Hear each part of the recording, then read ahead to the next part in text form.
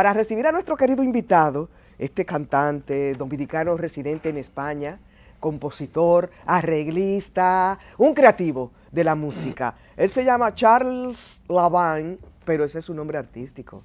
Aquí, en suelo patrio, en nuestro patrio suelo, eh, es Carlos Castillo.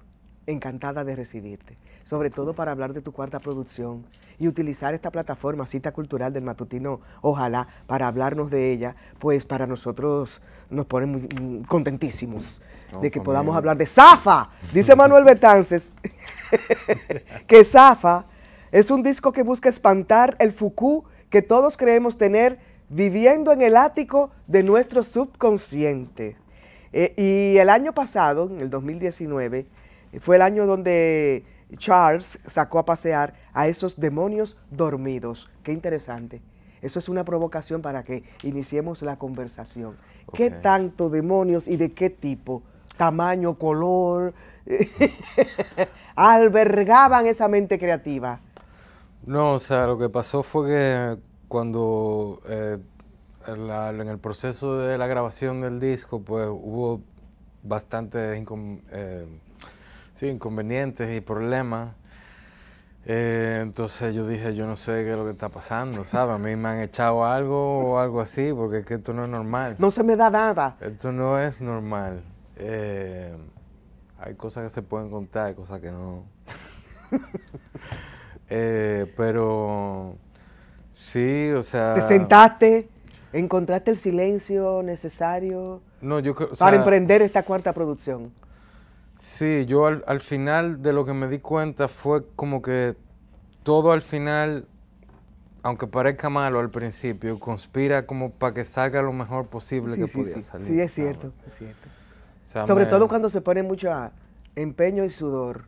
Claro. Entonces, al final del proceso yo dije, pues mira, era así que tenía que ser. ¿Qué es Zafa dentro de este ámbito tan inmenso que es la música, no?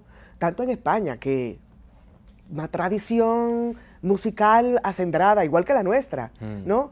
¿Qué hay de, Carlos, de Charles, de España y de eh, la dominicanidad, digamos, lo caribeño, la caribeñidad, como dicen los sociólogos, en sus composiciones. Hay una intención de hacer ese maridaje, de poner a dialogar eh, eh, dos culturas que están tan cercanas. Sí. Y viento y pico de años de...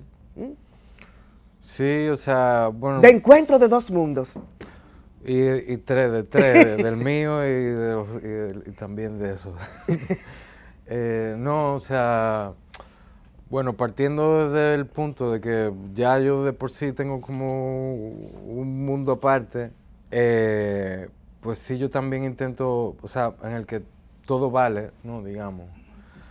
Eh, entonces yo intento integrar todo lo que sea posible, ya sea de esta cultura, de la española o de lo que... Pero veo un crooner, veo un crooner ahí en esta interpretación que, que veíamos eh, al, al, principio de, de, esta cita cultural.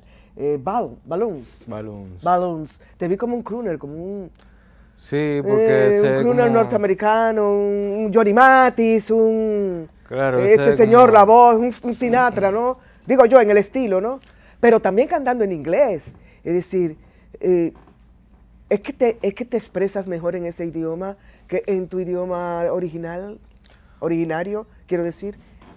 Bueno, digamos que me es más, me es más fácil cantarlo así, pero eh, de, vez en, o sea, de, vez de vez en cuando sale así naturalmente una en español para que yo la saco, ¿sabes? O sea, es como, mira, uff, viene una en este, español. aquí hay 53 minutos de música, dice, es decir, hay 11 temas. Sí. Eh, estamos viendo algunas imágenes, ¿no? De los videos promocionales de las canciones.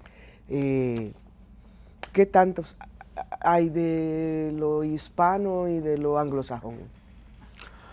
Bueno, ahí hay, eh, hay espacio para todo, o sea, ahí cabe todo y hay un tema así que, que es un poco caribeño, el, segundo tema, ¿sabes? Tiene ahí cosas...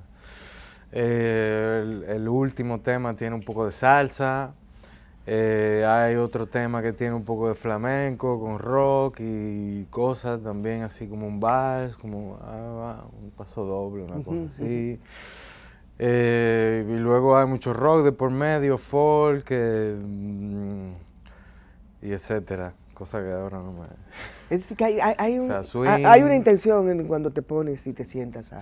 Sí, sí, o sea digamos que el tema te va hablando, te va, Hablando, te va hablando qué es lo que quiere, o sea, qué es lo que, cuál es su mundo, ¿no? A veces uno puede influenciar un poco, pero tampoco, o sea, él ya quiere ser lo que él quiere ser. La canción que ha ido transformando a través de la historia, ¿no? Se ha ido nuevos arreglos, la misma tecnología ha puesto al servicio de la música, ¿no? Otros puentes, ¿no? De, creación eh, que no nos imaginábamos. Eh, programas que copian instrumentos, eh, pero hay un interés en un gran grupo de consumidores de música de volver a lo, a lo, artesanal de la música, ¿no? digamos, a lo vintage. No me gusta usarla porque se ve como... Se ve así como fresita.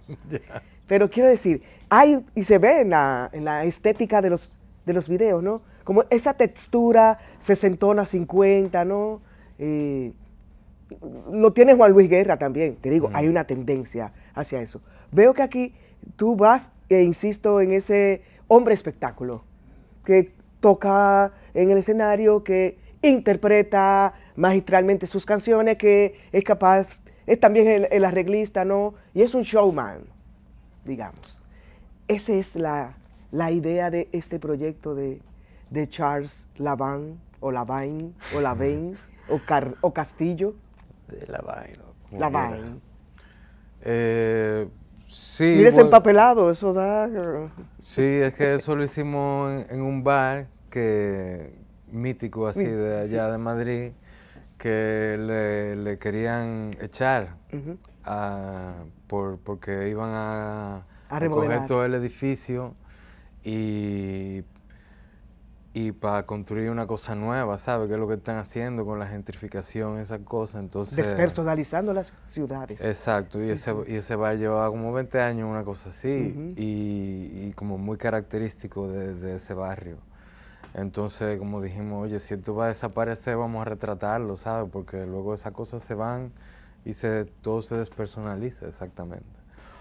Eh, pero bueno, contestando a tu pregunta anterior, que realmente eran como varias preguntas en una, Em, bueno, o sea, la naturaleza del proyecto, sí, eh, yo un poco como que dirijo todo, o sea, porque el proyecto es mío, entonces pues yo tengo la visión y, pues más o menos controlo todo lo que hay, aunque los demás personas participen más o menos, dependiendo de, del tema en particular o lo que sea. Eh, y luego, bueno, lo de Kruner, pues esa canción es ese mundo, ¿sabes? que es como un mundo así, como digamos, eh, bipolar eh, entre lo que pasa afuera y lo que al personaje le pasa adentro. Entonces lo que pasa afuera es como lo que suena bonito y lo que le pasa adentro cuando se vuelve. Como las redes sociales, que en Facebook y en Instagram todo el mundo es feliz. Exacto, exacto. Entonces me, sí, sí, son realidades virtuales, ¿no? Que se construyen, ¿no? En esta era moderna, postmoderna. Exacto. Pero que aún así uno dice, yo no sé qué le, qué le pasa a ese tipo, o sea, no sé qué, cuál es su problema, o sea, yo veo que está pero sufriendo, tú estás, pero, digamos que tú estás atormentado. Yo personalmente no demasiado, por épocas. Porque hay mucho que celebrar. Por ejemplo, eh, estoy viendo una propuesta. Ah. Eh, diferente, con su propio aire, quiero decir. Estoy viendo, intuyo una propuesta diferente. Y a eso iba. ¿Cómo tú la defines como Carlos, como Charles? Eh, ¿Cómo te defines en ese ámbito tan amplio de la música y, tan competitivo como en España, donde, donde resides? Bueno, ah, para un dominicano hay oportunidades de, de esas plataformas de, difusión, de que se escuche tu música, ¿no? Como, como artista, digamos, dominico, dominicano que reside en España. ¿Hay espacio para ti y para los que son como tú? Sí, o sea, bueno, es una flor como rara. Eh, pero digamos que todo el mundo puede tener un nicho. Ahora bien, la, amplitud de ese nicho, pues ya eso es más relativo y depende también de, del poder que se le ponga detrás. El poder, entre comillas. el poder, esa cosa que amorfa. Sí, como dinero. Difícil de entender. Influencias, etc. y de muchos, sí, sí, mm. muchos elementos confluyen ahí. Mm. y, en esta cuarta producción, ¿qué es la diferencia de las anteriores? ¿Notas eh, que fuiste más atrevido, más osado, digamos, en el uso de instrumentos? El proyecto eres tú como solista. Sí. Y te acompañan unos músicos. Sí. ¿Cuántos músicos? Eh, bueno, depende, de, depende del disco en particular. O sea, hay una banda base que somos cinco en total. O sea, batería, bajo, violonchelo, teclado y yo. Y luego pues hay invitados que van y vienen según la necesidad del tema o lo que sea, del arreglo. Eh, y bueno, o sea, la banda base pues sí participó igual un poco más activamente en el, proceso. Eh, pero sí, el disco eh, eh, varía en cuanto a los demás. En relación, pues tiene un sonido como más, un poco más moderno,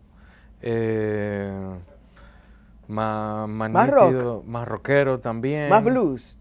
Eh, blues no tanto, pero o sea, sí tiene como, es como más viril, ¿sabes? Porque el anterior era como más contemplativo, más largo. Quiero decir testosterónico. Testosterónico, sí. También tiene su momento así como sensible, ¿sabes? Eh, que son bastante y, preciosistas. Y, que, eso no choca a ninguno, o sea, los testosterónicos no, no tienen nada que ver con No, porque... Se puede ser testosterónico y sensible, quiero decir. Claro, Se dan esas amalgamas.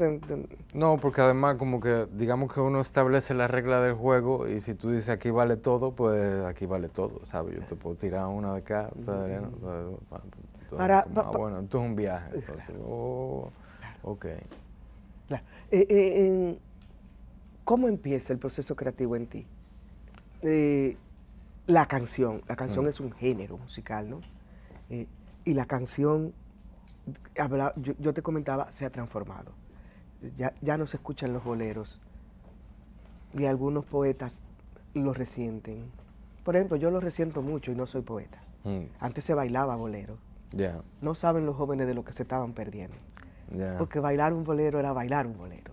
Y eso implica muchas cosas, ¿no? Pero ya no se baila bolero. Ya los jóvenes bailan de otra manera ya los ritmos son diferentes, las coreografías son diferentes. Ya no hay tanto, digamos, ese abrazo que mm, promovía el bolero, del amor romántico.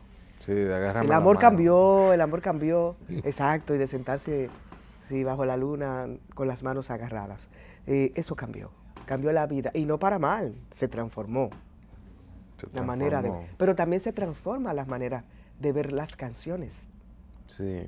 Una canción que se respete para eh, Charles Lavine. Eh, ¿Qué elementos debe tener? Bueno, tú me has metido como 500 cosas. Porque te eh, veo muy lejos del juglar trovador.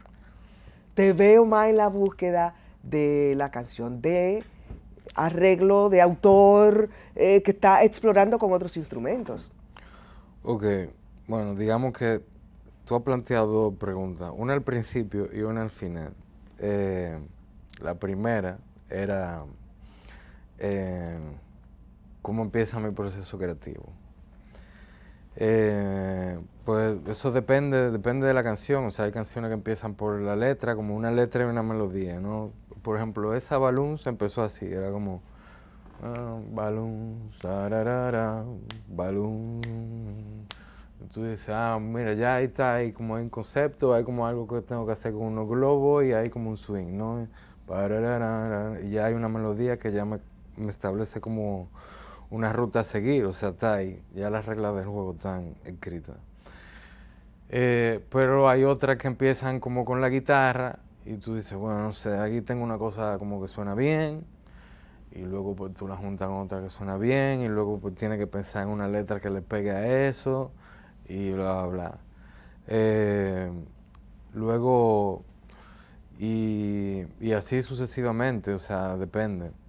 Eh, luego también la segunda pregunta. La canción. que era, o sea, ¿qué debe tener una canción? Según este creativo músico, ¿no? No, yo creo que depende, o sea, yo no... Yo, o sea, yo no estoy cerrado a nada de antemano, ¿sabes? Como eh, que entre lo que tenga que entrar y entonces yo intento procesarlo de la mejor manera posible.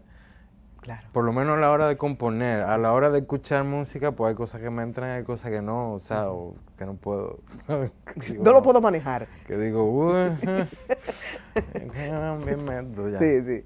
Eh, ¿Has escuchado la música que se está haciendo aquí en la República Dominicana? ¿Cuál de todas? esa música alternativa. Sí, Te estoy hablando de Yacer Tejeda. Sí. Estoy hablando de Xiomara Fortuna. Sí. Eh, Irka Mateo. Sí. Eh, que aunque reside en los Estados Unidos, pero está haciendo sus aportes. La música del propio Juan Luis Guerra, ¿no? Mm. Eh, que es muy querido en España. Sí, también. Llena, de llenar pues todos los tablados y todos los estadios. El tío se robó España. Sí, sí, sí. Entonces, quiero decir, estás al tanto de lo que sucede en el mundo musical dominicano. Hay jóvenes como, por ejemplo, Vic Contreras y la alucinante banda. Está Joel Martín, el abuelo. ¿Te sigo mencionando? Mm. Sí, sí, si quieres, te, ayudo yo. Duluc, eh, el, tema, eh, el tema de grandes compositores, íconos, de eh, Luis Díaz. Sí, Luis Díaz. Tone Vicioso. Tone Vicioso, por ejemplo. la Marimba, una chica joven.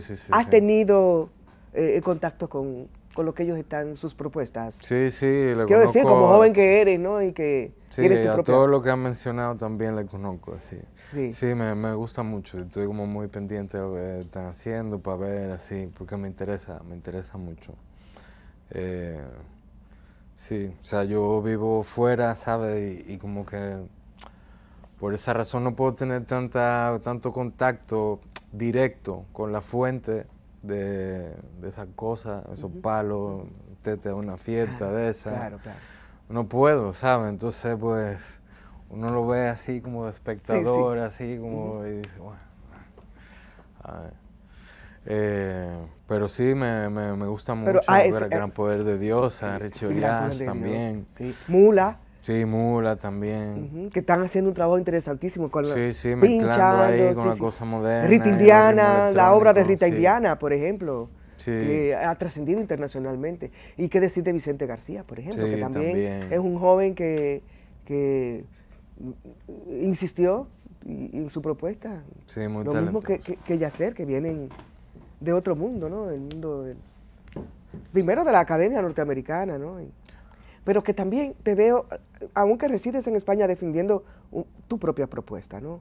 Sí. Y, hay una intención también de ganar su mercado anglosajón. Sí, cualquier, todo cualquier mercado. Cualquier mercado. Sin barreras del idioma. Eh, para, eh, sin barreras del idioma eh, y asumiendo la multiculturalidad. Digamos. Exacto, porque ya hoy en día... Y la polifonía de... todo el mundo está tan conectado, pues ya no, como yo solo escucho tal cosa. ¿Y, hay algún encuentro donde podamos ir a disfrutarte ahora en este viaje que has hecho a la República Dominicana?